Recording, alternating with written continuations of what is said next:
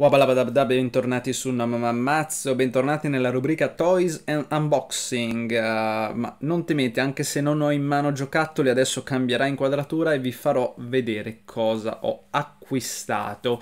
È un video che avevo già fatto un po' di tempo fa, ma ho voluto rigirarlo in modo che vediate meglio i prodotti di cui andrò a parlare, lo uso per festeggiare ufficialmente il raggiungimento dei 2000 iscritti sul mio canale YouTube.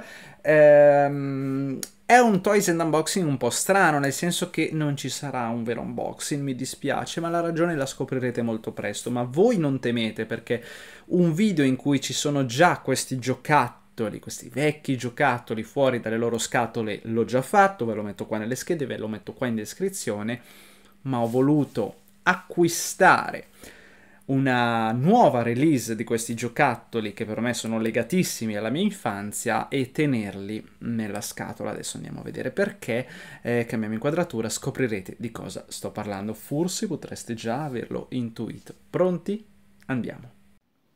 Eccoci qua ragazzi, eccoci qua in questa inquadratura un po' brutta che adesso migliorerà decisamente in cui vi mostro il mio ultimo acquisto nerd, ultimo nel senso che davvero tagliatemi il bancomat. Comunque, a parte questo, ragazzi, qua si va nella mia infanzia, mm, vi do un periodo storico, si va nell'87 per essere precisi, molti adulti che eh, sono appassionati di collezionismo, di vecchi giocattoli, eh, sapranno quanto questi prodottini eh, valgono ancora inscatolati. Eh, ovviamente io non sono così folle da prendere una versione originale dell'87 ancora inscatolata di questi giocattoli, ma fortunatamente sono stati ristampati, eh, ricreati per l'anniversario, ma anche perché c'è un prossimo film in uscita. Sto parlando di Ghostbusters. Il prossimo film in uscita è Ghostbusters Afterlife e se non sbaglio, adesso vi faccio vedere subito, eccoli qua.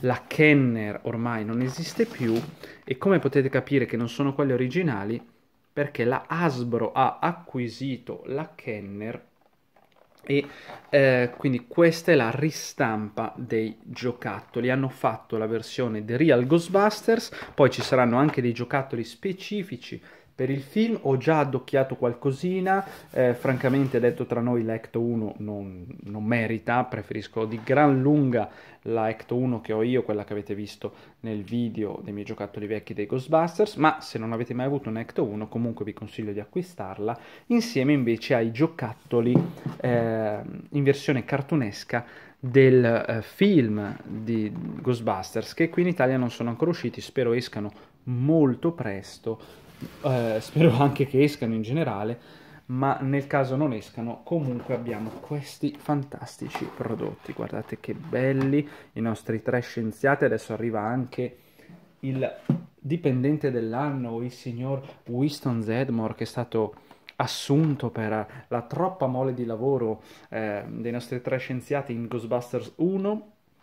Guardate che belli, capirete perché non li voglio aprire, anche se davvero sto lottando contro me stesso perché io non ho più neanche uno zaino protonico, quindi vorrei tanto toglierli, vorrei tanto eh, metterli sui miei giocattoli, vorrei tanto usare questi come giocattoli che ho eh, sulla mia libreria, che ogni tanto vedete alle mie spalle, però sto cercando di frenare questo istinto e di tenere questi gioiellini ancora inscatolati.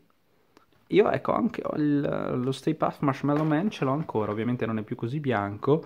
Qui abbiamo Peter Winkman, la voce dei Ghostbusters, la bocca dei Ghostbusters, ma anche il leader dei Ghostbusters.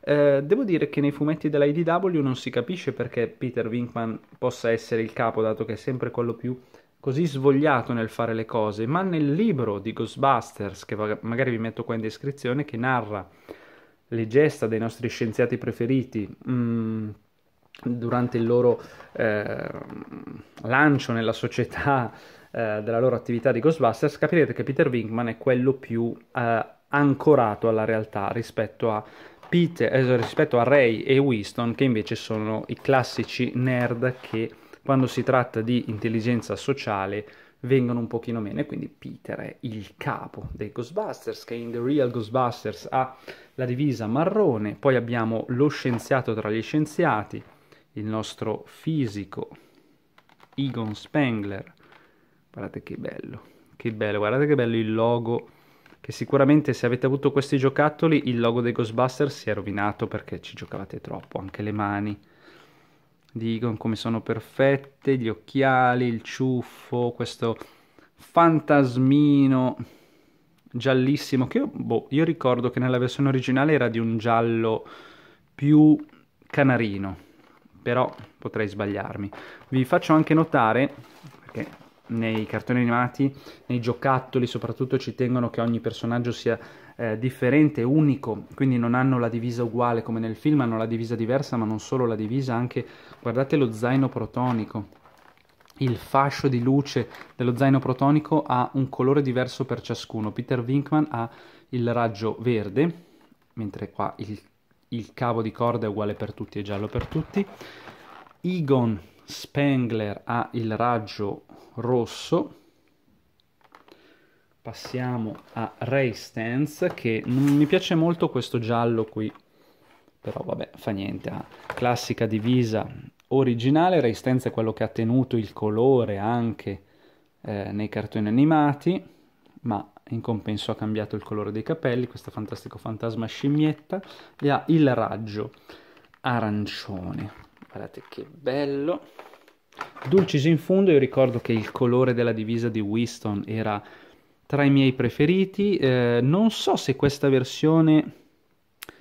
Sì, credo che sia altrettanto magica. Guardate come sono lucidi i pantaloni.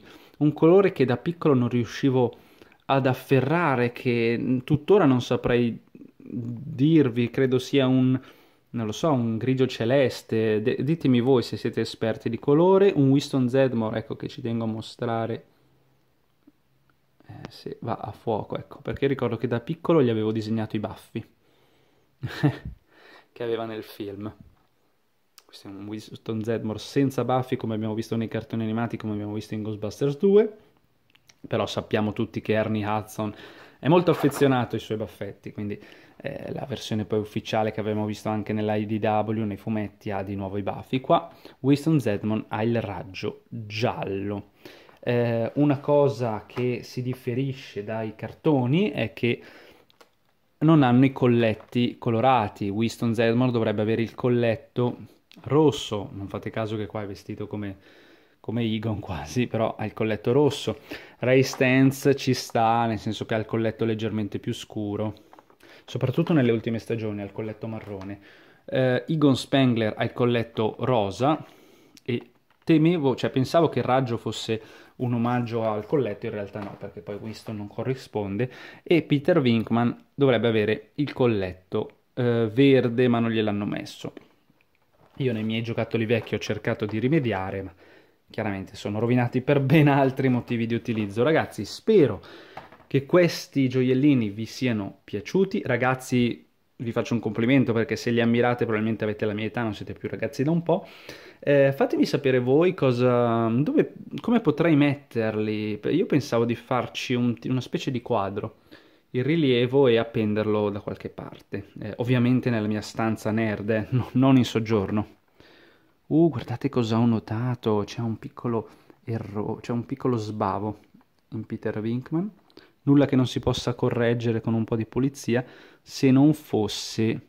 Ah, ecco, è lo sbavo del... Il rosa carne è andato a sbavare un po' la, la tuta, nulla che non si possa sistemare se non fosse che non voglio aprirli, ma non fa niente. Ovviamente so che questa versione vi rifaccio vedere perché in modo che non siate ingannati durante un acquisto. Questa versione non varrà mai come le versioni mai aperte della Kenner, che eh, possono anche valere sulle, sei, credo 600 euro. C'è un prezzo folle ovviamente, però un prezzo che ho visto.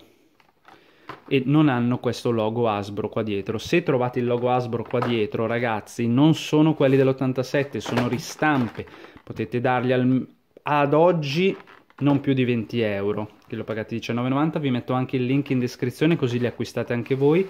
Eh, poi ci sta, magari tra qualche anno ne varranno 40, 60, però occhio, occhio, soprattutto tra qualche anno, che se hanno questo non sono dell'87, ci sarà sicuramente qualche data in giro eh, che vi dirà quando li hanno stampati. Ecco qua, guardate, 2000, qua metto a fuoco 2020, ok? Non 1987, non fatevi ingannare, sono fantastici, ma non pagateli più di quanto non costino in realtà. Io vi ringrazio per avermi seguito fino a qui, fatemi sapere anche qual è il vostro Ghostbusters preferito, ma mi raccomando, eh, non intendo in generale, questa versione esteticamente, qual è quello che vi piace di più? Io ve l'ho detto, io adoro la, la tuta di Winston, tantissimo, poi vabbè ero legato a Peter perché si sa, alla faccia di Tolla Peter, però la, i colori di Winston mi piacciono tantissimo. Scrivetemelo qua sotto in descrizione, io come eh, sempre vi ringrazio per avermi seguito fino a qui, con l'inchino e con l'imbuto vi saluto e vi dico arrivederci al prossimo video. E vi dico anche che se questa settimana sarete a Rimini Comics io sarò da quelle parti, non sarò fisicamente tutti i giorni a Rimini Comics ma sarò da quelle parti, quindi se vi va di, di, di vederci o se per caso mi beccate ci salutiamo. Ciao a tutti!